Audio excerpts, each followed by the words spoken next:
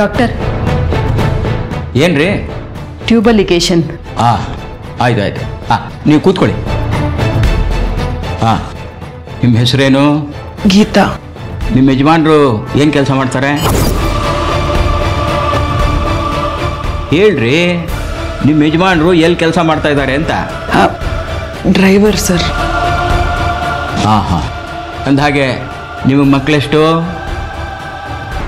ಗೀತಾ ಗೀತಾ ನಿನಗೆ ಒಂದು ಮಗು ಜವಾಬ್ದಾರಿ ಕೊಡ್ತಿಲ್ಲ ಕೊಡ್ತಿಲ್ಲ ಮೂರು ಮಕ್ಕಳು ಜವಾಬ್ದಾರಿ ಜವಾಬ್ದಾರಿನೂ ನಿನ್ ಮೇಲೆ ಇದೆ. ಮೇಲೆ ಇದೆ. ಮೇಲೆ ಇದೆ.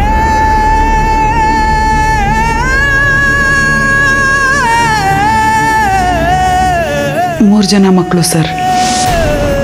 ಅಲ್ರಿ? ಮೂರನೇ ಮಗು ಡೆಲಿವರಿ ಆದಾಗ್ಲೇ ಆಪರೇಷನ್ ಮಾಡಿಸ್ಕೋಬೋದಿತ್ತಲ್ವಾ? ಎಷ್ಟು ವಯಸ್ಸು ಮಕ್ಕಳಿಗೆ? ನಿಮ್ಮ ಮಕ್ಕಳಿಗೆ ವಯಸ್ಸು ಎಷ್ಟು ಅಂತ ಕೇಳಿದೆ ನಾನು. ಅದು ಸರ್.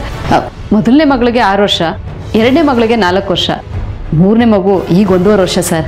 ನಿಮ್ಗೆ ಹೇಗ್ರಿ ಗೊತ್ತು ಇವೆಲ್ಲ? ಅದು ನಮ್ಮ ಹಾಸ್ಪಿಟ್ಲಲ್ಲೇ ಡೆಲಿವರಿ ಮಾಡಿಸಿದ್ದು ಸರ್.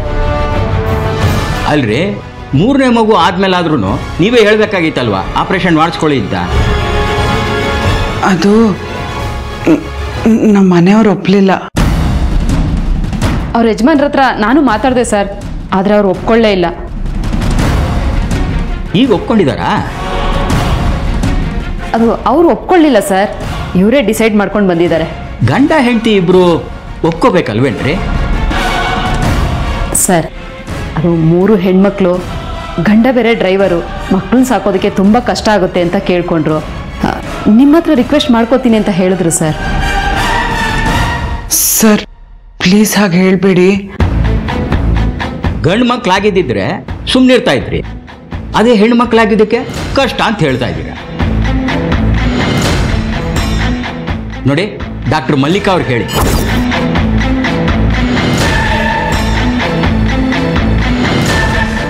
ಸರ್ ಅವರು ಓಟಿನಲ್ಲಿದ್ದಾರೆ. ಇವತ್ತು ಎರಡು ಸೀರಿಯಸ್ ಕೇಸ್ ಆಪರೇಷನ್ ಇದೆ ಸರ್. ಹೌದಾ? ಬೆಳಗ್ಗೆನೆ ಮುಗೀತಲ್ಲ? ಈಗ ಅವ್ರು ಫ್ರೀಯಾಗಿ ಇರ್ಬೇಕಲ್ವಾ ಇಲ್ಲ ಸರ್ ಮಧ್ಯಾಹ್ನ ಒಂದು ಎಮರ್ಜೆನ್ಸಿ ಆಕ್ಸಿಡೆಂಟ್ ಕೇಸ್ ಬಂತು ಸರ್. ಸರಿ ಹಾಗಾದ್ರೆ ಡಾಕ್ಟರ್ ಲೀಲಾ ಅವ್ರಿಗೆ ಹೇಳಿ.